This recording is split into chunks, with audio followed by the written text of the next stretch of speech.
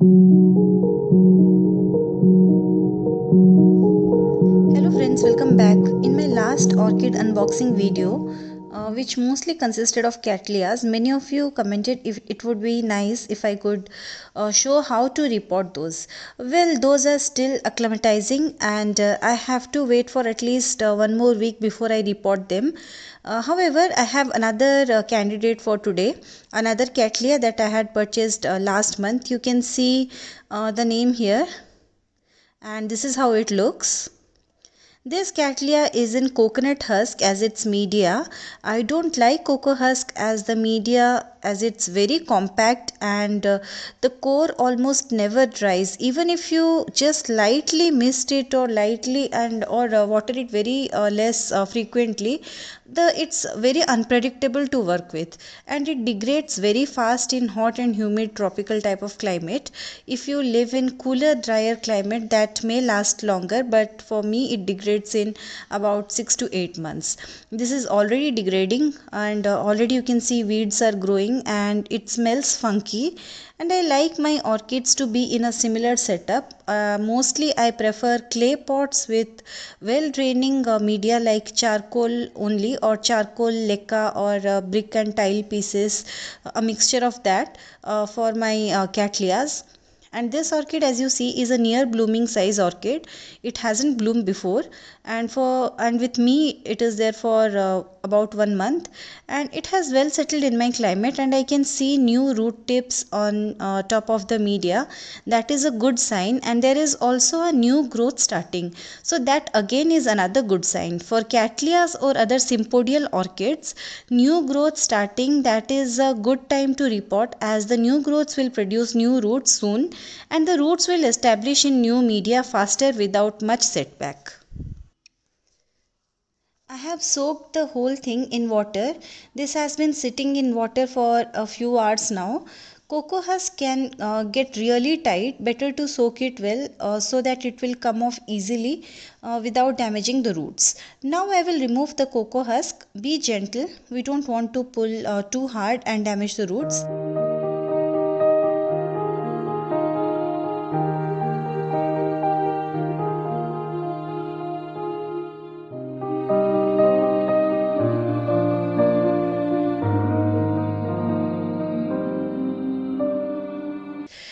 Suspected, there are hardly any viable roots.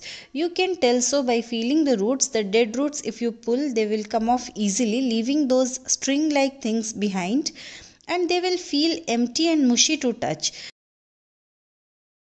Healthy roots on the other hand they will feel firm and they will be somewhat whitish in color with, uh, with or without green tips. Green tips means the roots are actively growing.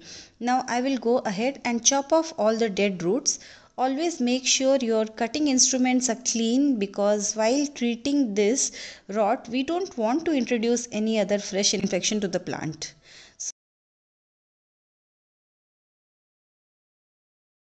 So this is uh, what I'm left with. You can see very few roots.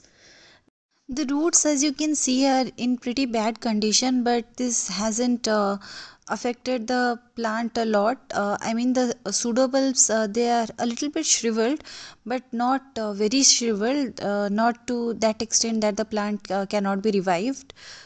so with proper repotting and proper care this cattleya will definitely bounce back. We'll quickly go and clean the plant as a whole and also uh, the root portion under running tap water to get rid of any decomposing media that is left sticking uh, to the root portion. And now I'm back with the clean plant. I have 3% hydrogen peroxide with me and a spray bottle and I'll spray thoroughly. I don't use uh, hydrogen peroxide routinely for all my repottings but uh, for the orchids which are in decomposing media or which have extensive rot I like to uh, use hydrogen peroxide and uh, disinfect uh, the roots. And hydrogen peroxide when you are using you can hear a fizz. That means the peroxide is working. After its work is done um, what is left is only water. Now by the time the fizz stops, I will prepare my pot and the media. I have this beautiful clay pot with so many holes. Clay pot with only one drainage hole at the bottom will also do as clay is very porous and uh, water dries out very fast. So it works great for me in humid uh, type of climate. You can also use plastic pots for cattleyas. Make sure they have plenty of drainage and ventilation holes.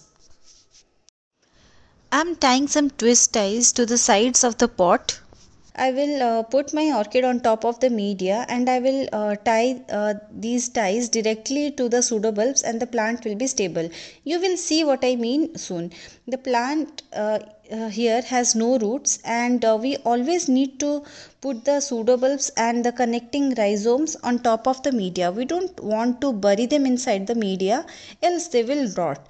I have put some charcoal in the pot and now I'll place my orchid on top of it and with these twist ties on both the sides I'll try fixing the orchid and uh, try to make sure that it's uh, stable enough. I can't stress how important stability is. If not this way you need to um, at least take your plant use uh, but I am running out of bamboo skewers as uh, uh, which I use as stakes that's why I opted for this option anyways be it a stake or be it um, uh, any thread or uh, any twist tie uh, tied to the pot by any means you need to make sure that your plant is stable. If it's not stable if it's wobbly then it will be very difficult uh, for the plant to establish new roots and the reason why I am using charcoal only as media or why I prefer inorganic media like charcoal, brick pieces or leca bits as media for the cattleyas it's very simple. Cattleyas they like to be watered heavily. They like humidity they like moisture but they don't like to stay wet for too long. The roots they absolutely hate waterlogging so we need a well draining airy media.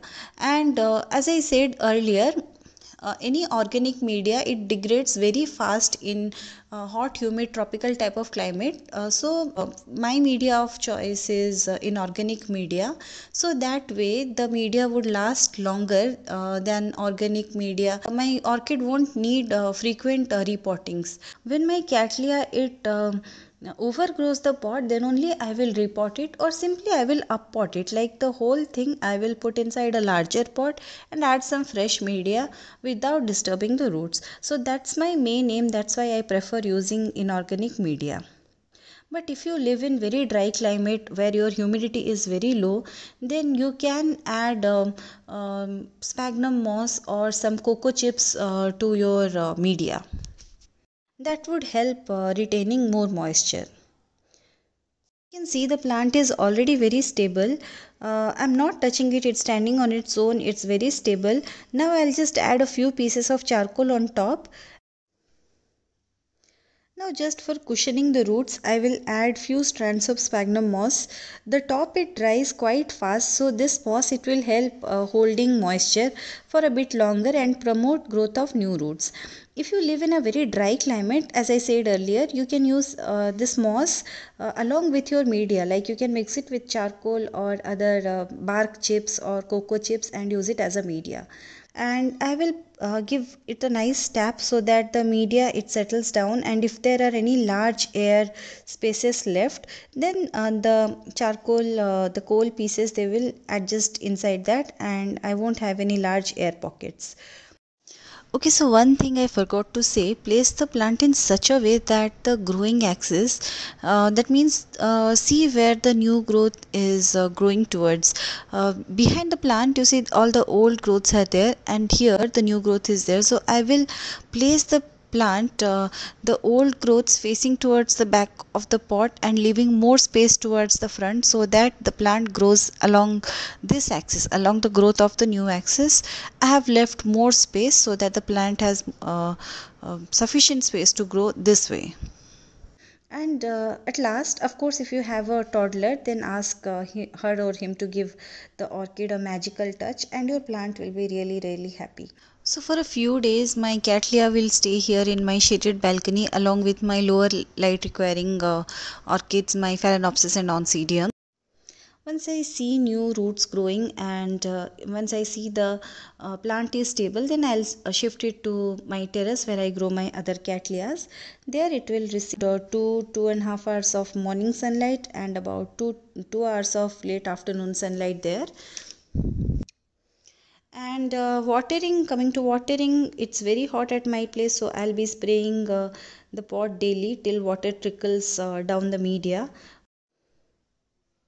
and I won't be using any fertilizer for at least uh, two weeks till I see new roots growing and uh, the plant establishing in the pot. Just uh, water daily or once in two days depending on how fast your media dries and the orchid will establish really fast. No need of any additional fertilizer now. After that uh, initial two to three weeks period after uh, repotting, um, I will start uh, fertilizing with liquid seaweed extract and Epsom salt every 15 to 20 uh, days all year round with slight decrease in watering and fertilizing frequency during the cooler months. Don't over fertilize Cattleyas as the roots they are very sensitive to pH imbalance and salt buildup and the root tips they burn very fast. So basically very bright light, well draining media and thorough watering with proper drying of roots in between the waterings.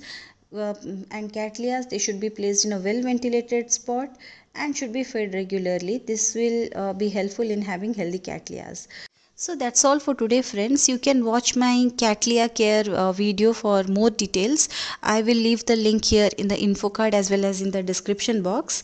Thanks for watching. Stay safe. Take care. Bye bye